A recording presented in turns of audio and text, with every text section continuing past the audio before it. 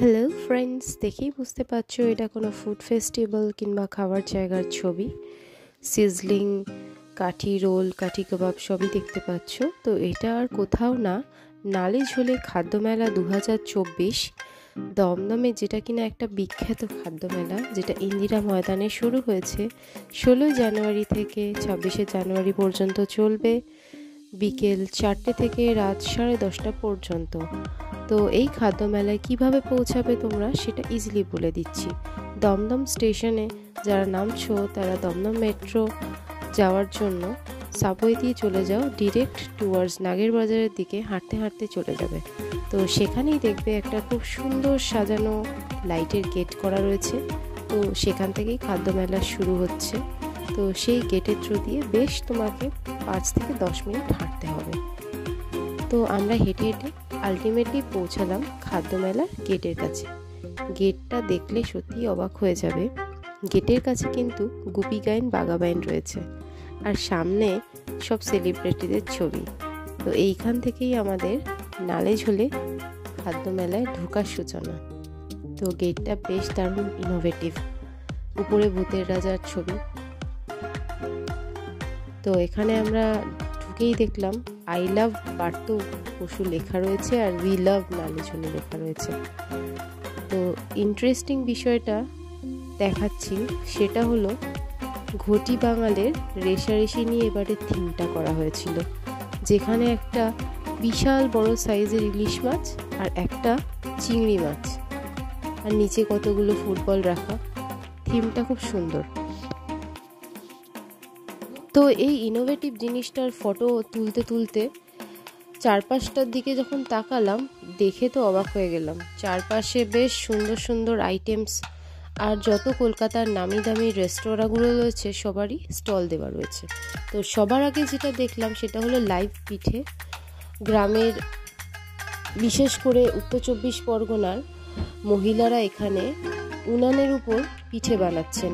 এই পিঠের মধ্যে সরা পিঠে, পুলি পিঠে পাটিসাপটা আরও যত রকমের পিঠে হয় সব তৈরি হচ্ছিল। তো সর্বপ্রথম যে স্টলটা ছিল, সেটা ল্যাংচা ল্যাংচা কুঠি, যেটা কিনা শক্তিগড়ের। তো এখানে আমি আসছি শেষের দিকে, কারণ এখান থেকেই আমরা শেষের ল্যাংচাগুলো কিনেছিলাম। তো বেশ টেস্টি ছিল। তো এখানে দেখুন বাঙালি বাবুর একটা তৈরি করা হয়েছে মডেল, আর এখানে একটা বিশাল বড় ল্যাংচার ভাণ্ড রাখা হয়েছে।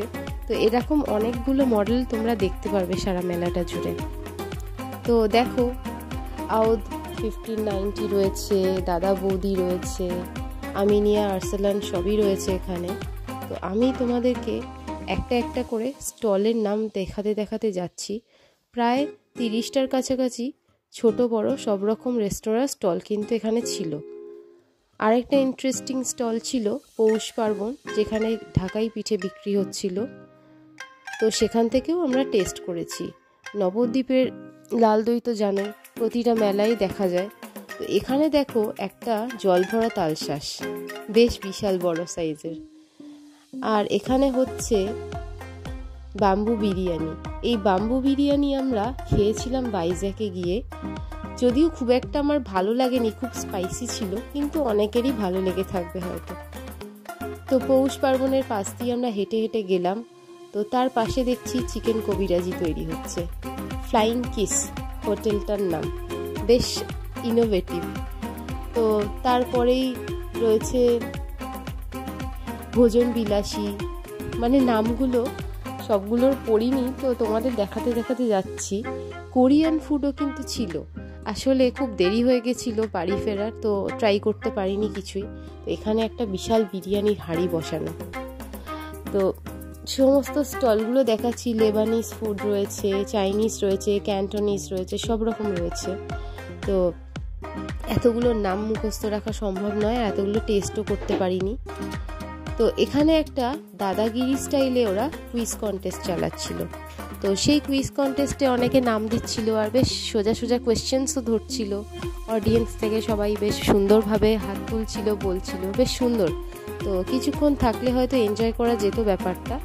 যাই হোক, আমরা মেলার অপর অপর প্রান্তে গিয়ে অন্য দোকানগুলো দেখাচ্ছি।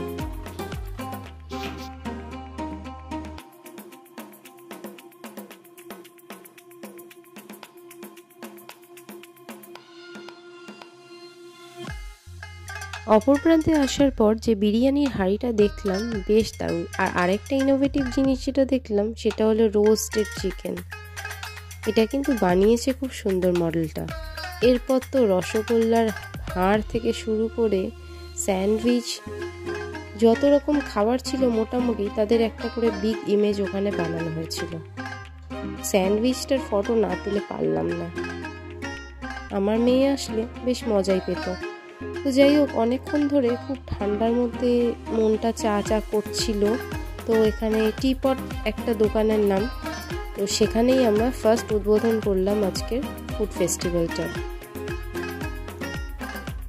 তো সেই টিপট থেকেই আমরা চা খাব, খেয়ে কিছুটা ঠান্ডা কমাবো আর কি।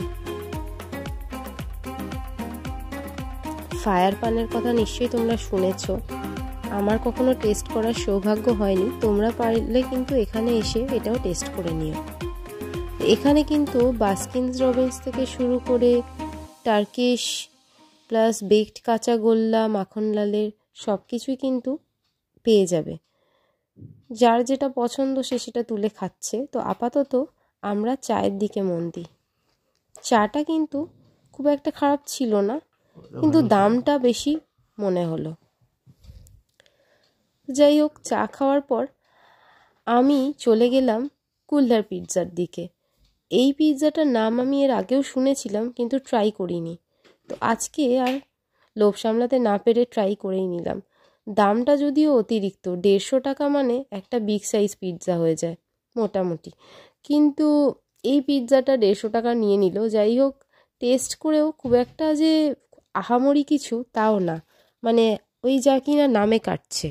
নর্মাল পিৎজার থেকে একটু কম পিৎজা খাওয়ার পর আমরা মিত্র ক্যাফে থেকে কাঠি কাবাব খেলাম।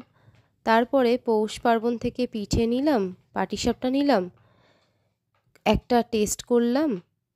আর এরপর আমাদের বাড়ি যাওয়ার সময় আমরা দেখতে পেলাম ল্যাংচা কুঠি। সেখান থেকে দু তিনটে ল্যাংচা নিলাম। আজকের ভিডিওটা কেমন লাগল জানিও কমেন্ট সেকশানে। আর প্লিজ লাইক, শেয়ার, সাবস্ক্রাইব করো। Bye bye.